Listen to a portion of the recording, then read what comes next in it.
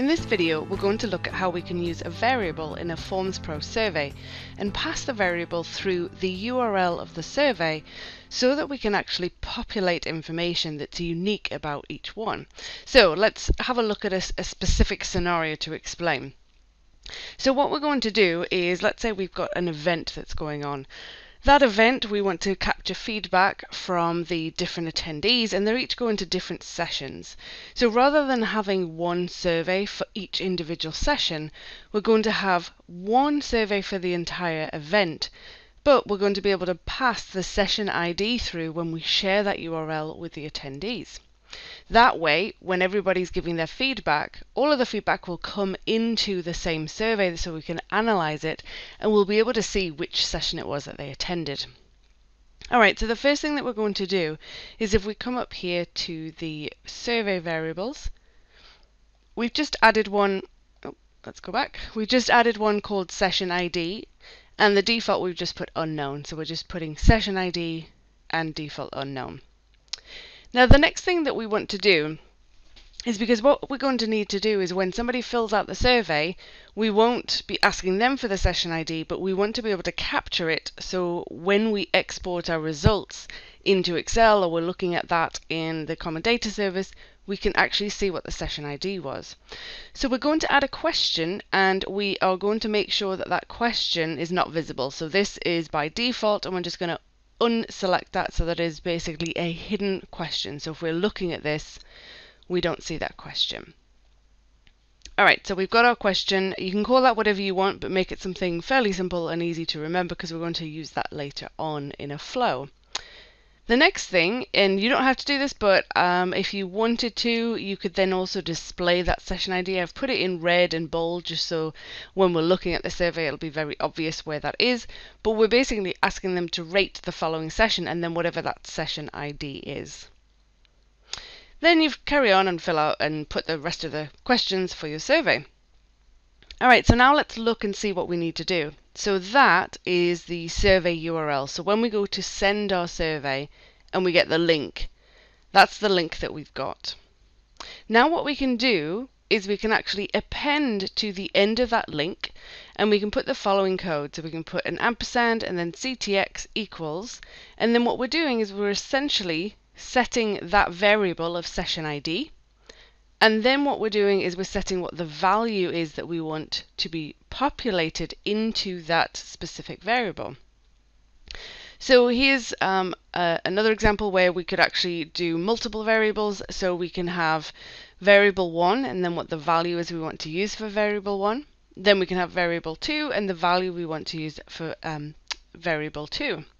So if we take this full URL we can then paste it in here. You can see it will actually add in, if you've got spaces, that's fine. It will add in a percentage 20. It'll just put in some additional things into that, but that's fine.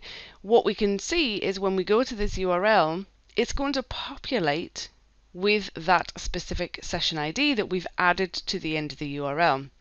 So this is fantastic. We can send out a URL that is for an anonymous survey capture, but yet we can still capture information so we could share that URL in for 20 different sessions for an event. And it's just the same survey but we're able to pull and display that information. So we've got it a little bit customized. So we're asking someone to rate the following session. So we just go ahead and fill this out um, and then we'll go ahead and submit it. Now what we have in order to be able to then pull that session ID, At the minute we've just displayed the session ID, we want to be able to pull that session ID back and actually populate that hidden question so that when we go and export the responses, we can see that question populated. So let's look at our flow. So the first thing that we need to do is we need to have a trigger condition and that is basically the creation of a Forms Pro survey response. So next step we've got is a parse JSON step.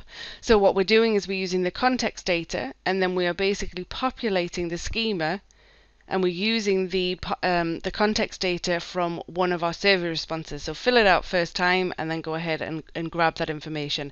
I'll put a link to a blog post where it shows how you can do that if you haven't done that in any of your steps before. Then what we're going to do is we need to find the question that is linked to the survey that we added and we hid. So we've got that session ID question that is linked to the survey, never mind the responses or anything, it's linked to the survey. So what we want to do is we actually want to get that record of that specific question called ses session ID. So we've got an expression here, um, or basically a filter query, where we are looking for the survey question where the question text equals session ID or whatever you called that question on your survey. And then the source survey identifier equals the source survey identifier from the from the top trigger. So that's the um, the question that is linked to that specific survey. Okay, so once we've got that question, we then want to actually be able to go ahead and create a question response for that question because because it was hidden we didn't get a response. So what we're able to do is actually create that response using flow.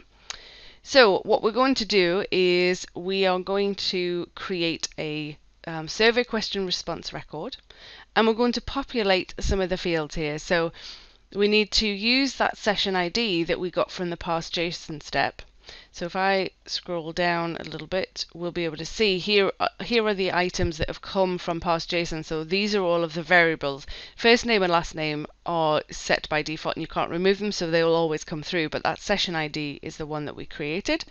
And we're going to populate that in the name, key phrases, and the response fields. If we scroll down, we then are going to do an expression and we're going to basically get that source question identifier and that is basically getting that record that came back in our list record step and we're getting that um, and pulling the source question identifier. So from this step that's what we're getting. Then we're going to populate the um, source response identifier and the source survey identifier from the trigger step. Um, we're going to use the status reason value of active and we're going to set the same owner as the owner on the trigger step, so the same owner as the survey, or the survey response rather. Then what we're going to do is we are going to um, set the question, and again that's basically using the um, record that came back from the list record step, so the record that came back from this. And then finally, the survey response that we want to link it to, we use the activity field from the trigger, from the initial um, uh, survey response that was received. So once we've gone through all of those, that's basically going to create a response for the um, session ID question.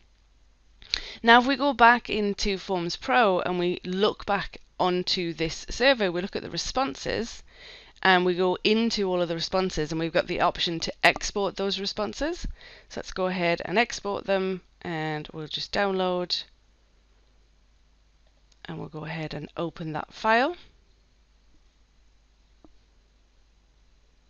So what we're going to see is along with the questions that were responded to directly by the respondent, we'll also have, if we just pull this over, we basically have, um, there we go, there we have our session ID that has been populated. So we can see there that we've got different session IDs. So for each session, all you'll need to do is just append the variable of the session ID and then actually put the value of what that specific session was and just make sure that each presenter or whoever's sending those links out is putting those variables on the end and then you'll be able to capture that information when you export your results. So hopefully you found this useful. I can see lots of um, reasons for using this. Really, it's very straightforward, very, very simple. Again, just a reminder, it's appending to the end of your URL and just setting what the variable is you want to populate and then what the value is that you want to populate into that variable.